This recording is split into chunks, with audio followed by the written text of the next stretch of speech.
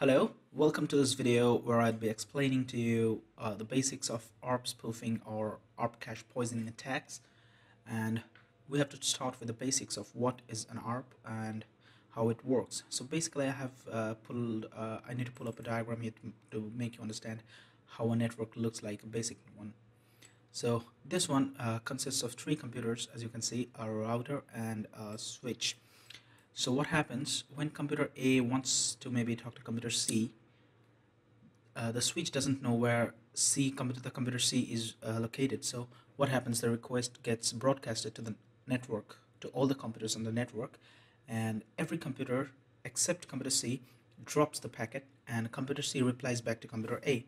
So then what happens? The switch remembers the port where the uh, computers are physically connected and what are their MAC addresses and the switch saves it onto a table called MAC address table. So let me show you an example of what I just spoke about uh, practically. So this in my right side is uh, the, uh, the configuration panel for this switch and as you can see all the four devices that are connected, three computers and the router have been recorded in this MAC address table and along with their ports, their respective physical ports with their MAC addresses are binded to each other.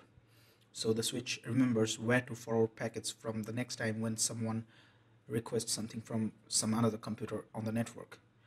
So this is what data link layer does. This is what happens in the data link layer.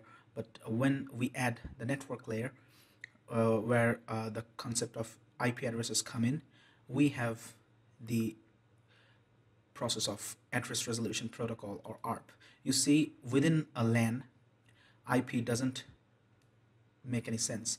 So within the LAN everything is done with a MAC address.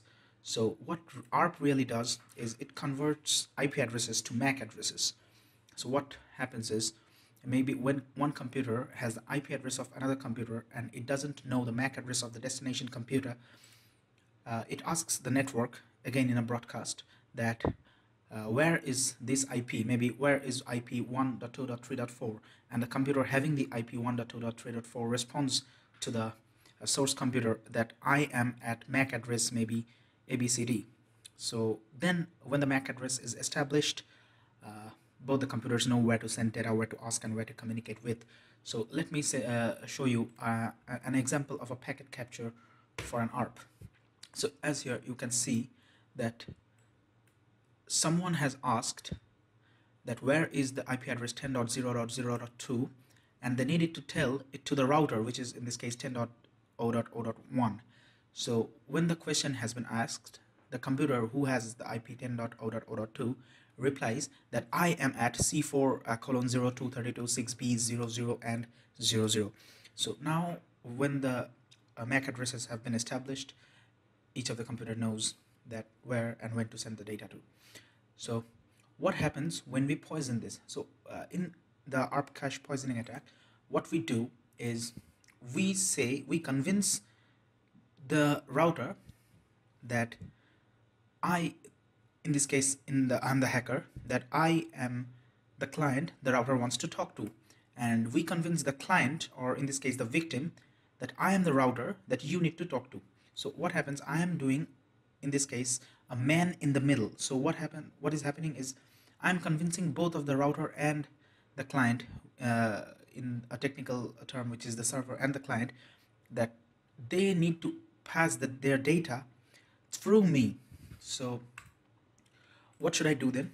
In this case, I'm in my Kali virtual machine and I'm going to uh, poison my ARP. So let me show you how we can pull up every IP addresses and every MAC addresses uh, with the help of address resolution protocol. So I will just type here uh, net discover. And you can see the this computer is reading the MAC addresses and ARP requests and then interpreting that. We have three uh, terminals here which is first one is the router. The second one is in this case my host machine. Let me check ip config. And here you can see um, here uh, 192.168.1.2 uh, is the, my Windows machine's IP address. uh, 192.168.1.101 is the IP address of another virtual machine where I'm running a basic Apache server uh, with a login page uh, which I'm going to exploit later. So what happens that in data link layer or in the ARP scenario every ARP request is trusted. So this is what we are going to exploit now so I just got all of the IP addresses that I want. Now what I'm going to do I'm going to check this computer's IP address and MAC address so I can show you that how the uh, ARP is being poisoned. So ifconfig is the command for that.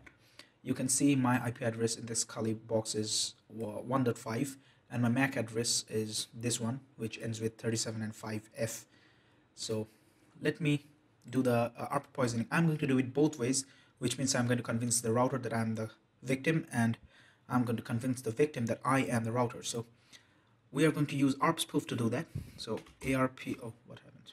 Yeah ARP spoof minus uh, dash i which means i for interface. And in this case it is eth0 so eth0 and minus t is for target. So arp spoof minus i eth0 minus t.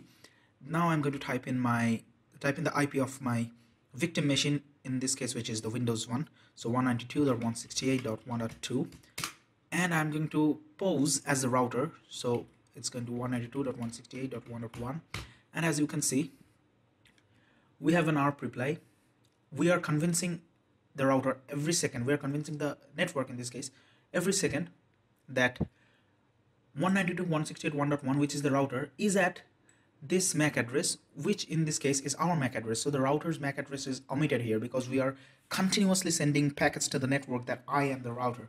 So I just poisoned my victim machine. I just convinced my victim machine that I am the router. And now we are going to convince the router that we are the victim machine. So uh, we are going to do the same thing here. Arp spoof minus i which is eth0 minus target. Now the router one 192.168.1.1 and I'm going to uh, pose as the victim 1 dot uh, 1.2 yes and now you can again see that 192.168.1.2 is at the same MAC address so the ARP is now poisoned. Let's start Wireshark now. I'm going to just open a new tab real quick here. Yeah, Wireshark. I'll just show you the ARP requests that both the router and the victim's IP is on the same MAC address and the network doesn't care. That is the security hole we're talking about. So I'm just going to filter here ARP. And as you can see, VMware, this is the victim machine which is uh, this is the Kali machine. So who has 192.168.1.5 I'm going to tell to 192.168.1.1 and the reply comes back at this is my MAC address. So this is what I'm going to do. This is what is going on here. I'm every time convincing by each of this request each of this request at once in 1.2 once in 1.1 once for 1.2 once for 1.1 each time I'm convincing each of the router and the victim that I, in this case, am the one they should talk to. So the ARP spoof has been done. Now let's do something. Um, we have a web server running, as I said, and it's on the 101 IP. So, and this website is insecure, as you can see, the padlock sign is crossed. So what I'm going to do is I'm going for the username, maybe admin, and the password, I'm going to keep it secret. Shh. Um, okay and I'm going to hit login. I'm of course not going to be logged in because it's a trial password. So as the ARP poisoning is happening what I'm going to do what happened actually is this username and password I just gave this TCP request just passed through me. So I should see the packet somewhere in there. And so let me type in the filter ip dot address equals equals 192.168.1.2 and I only want TCP packets. So here you can see we have a lot of requests here. And as I, as I told you that 101 is the uh, machine that uh, Windows this machine has connected to. And we have a request a TCP request for this IP so let me follow the TCP stream. So uh, let, let us see if we can find in find anything. And yeah we just got it. This is the request. This is the post request. As you can see here post for the page index.php this is the post request. And within the post request the variables are uname and psw in this case we i just gave the uh, username as admin and the password was lol 01234 so this is how we just intercepted a packet between two different machines by poisoning the arp cache and now we have successfully hacked the username and password. This can be used on any website which is not currently running on a secure socket layer or uh, transport layer security. Uh, there is a hack for SSL and which we we are not going to discuss it now. Stay tuned on the ISOEH website and we may just do it later. So this is how it ends. This is the basic example of an ARP spoof attack. So hope to see you soon. Goodbye